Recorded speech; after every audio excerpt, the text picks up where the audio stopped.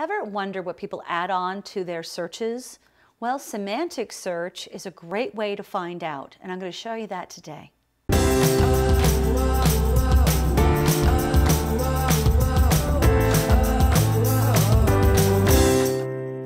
So today we're going to talk about semantics, right? That sounds really interesting. Let's make this just a little more interesting. It's also the search is related to.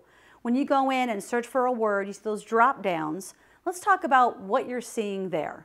So let's say that I'm a taco truck owner and I want to start blogging. I don't know what concepts I'm going to talk about, but I'm going to guess at my first one, which is going to be taco recipe.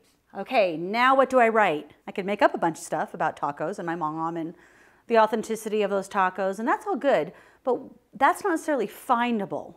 So when we're thinking about what are the things that are in a taco recipe, and we're just gonna guess right now. So I'm gonna say meat, sour cream, salsa, and tortilla. Now, I would be probably pretty right. If I'm gonna write a, a blog post on taco recipe, then yeah, it'd probably be a good idea for me to talk about those things. But I don't really know if anyone cares about them. Like, what way do they care about these? And so, as business owners, oftentimes we live inside our little bubble.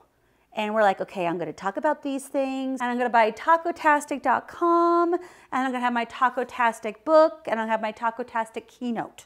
Okay? Now, I made up Tacotastic, and then I have to go out there and work it. I gotta get it on billboards, I gotta get it out there. And unfortunately, that's expensive and time consuming. As a business owner, we don't have either of those things. So we have to be more strategic than guessing. So I want you to write this down. Guessing is expensive. And the less we have to guess, the quicker our marketing is going to take traction. Let me show you. Okay, so I'm gonna sit down in Google and I'm ready to write my taco recipe. Now I wanna check in with who cares.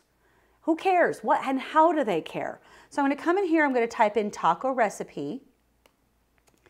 Oh, look, and as I write, you'll see that we've got these recommendations.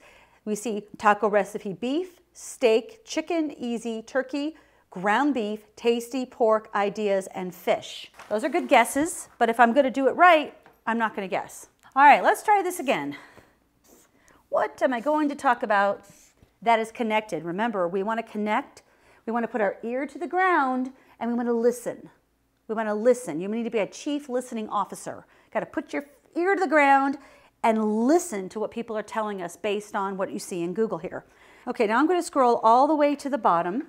Oh, look at these, even better. These are the questions that people are asking of Google around taco recipes. So if I'm going to stop guessing, then I'm also going to answer some of these questions.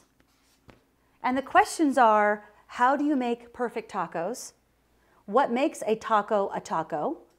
What ground beef is best for tacos? And how do you make brown taco meat? Interesting. Anyway, sometimes you see some pretty random stuff in here too. So pick a couple of these and answer them in your content. When you're writing a blog or a page on a website or a post, think about all the things that you as a taco recipe expert.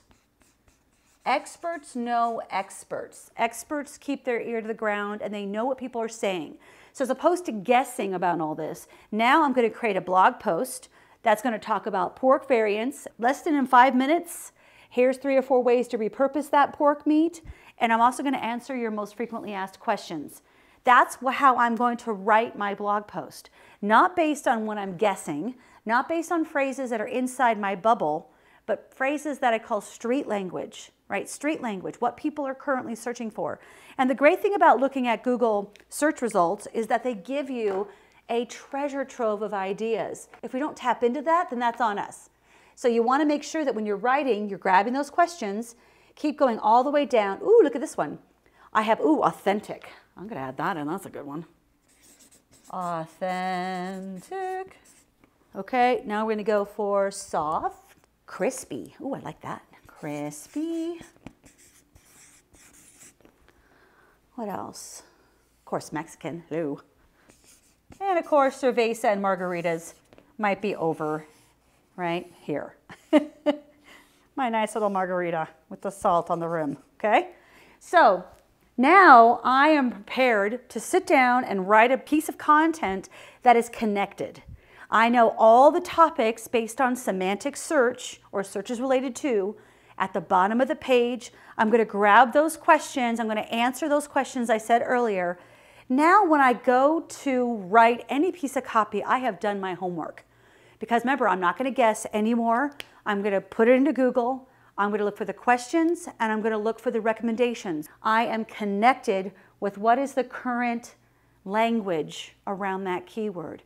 The more I connect with this language, the faster this is going to rank under the word taco recipe. That's the good stuff. If you love this YouTube video, don't forget I'm on other social media sites. You can follow me on Instagram at findability underscore university, at Heather Lutze on Twitter, and we're also on Facebook. So wherever you're hanging out, we want you to join us. Hopefully you've been enjoying all these tips about how to be the most findable business online.